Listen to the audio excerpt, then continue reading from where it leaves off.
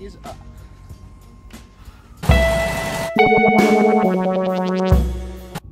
Alrighty guys, so basically this is an original 1993 Snoop Doggy Dogg, not Snoop Dogg, Snoop Doggy Dogg merchandise bandana from Great Entertainment.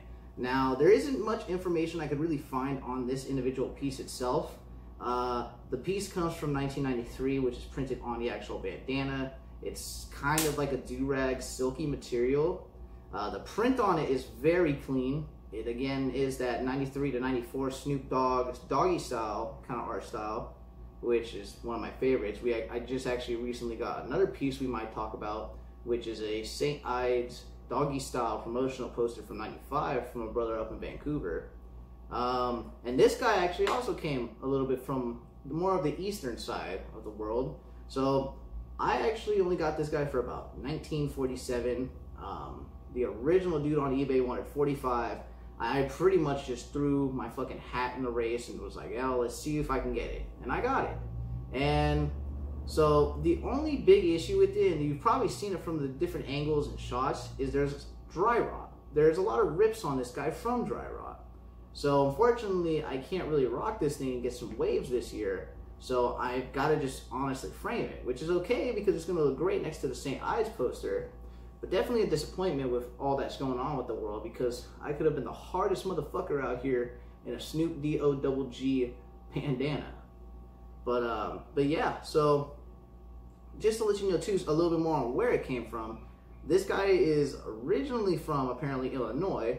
Uh, I don't remember where the seller was from, but on the back of this, and you'll see it in the, the shot coming up, is an Apple Tree Records sticker that sold this for only $5.99. A fucking grand spanking price of what I paid for it, obviously.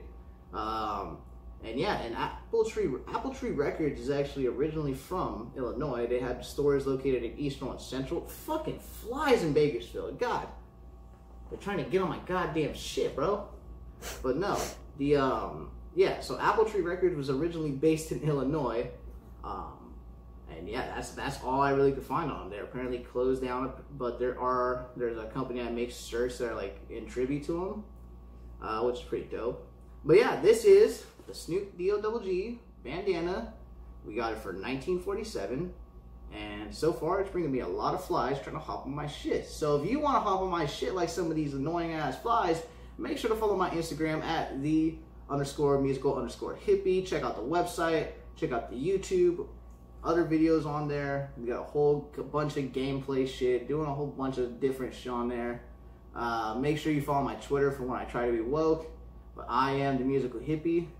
And this is another video. Uh,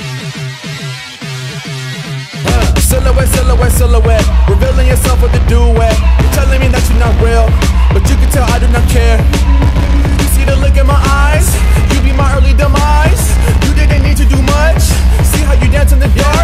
I wonder whatever you are.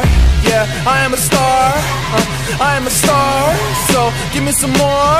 Uh, give me some more. Give me some more. Give me some more.